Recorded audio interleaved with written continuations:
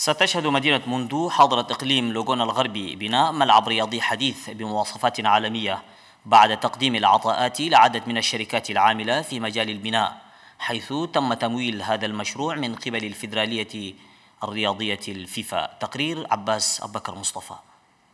بعد تقديم عطاءات عمل وعرضها للقطاعات المتقدمة لبناء ملعب رياضي لكرة القدم بمواصفات حديثة وعالمية بالنجيلة الاصطناعية لملعب بلدية مندوح حاضرة الإقليم وتم إطلاق العرض في الخامس عشر من شهر مايو لعام 2017 واختتم تقديم أوراق وملفات العطاءات بتاريخ التاسع والعشرين من شهر يونيو الماضي للفيدرالية التشادية لكرة القدم والأندية. وأن بناء ملعب رياضي بمثل هذه المواصفات الراقية تساعد الشباب في ترقية وتطوير مهاراتهم الإبداعية والفنية. وغرس في نفوسهم روح التنافس في الألعاب الرياضية وعن تسيير الأعمال وتقديم الخدمات بالملعب الرياضي الجديد. فقد أوضح الأمين العام للفيدرالية التشادية لكرة القدم والأندية.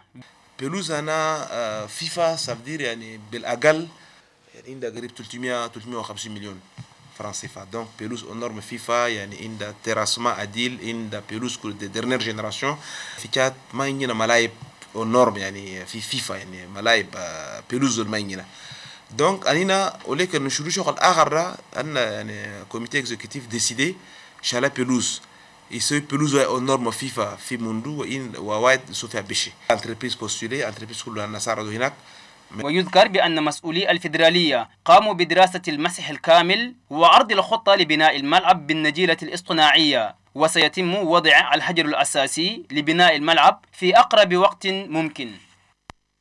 مشاهدي الفضائية التشادية هذا كل ما لدينا من أخبار. دمتم في رعاية الله وحفظه وتصبحون على ألف خير.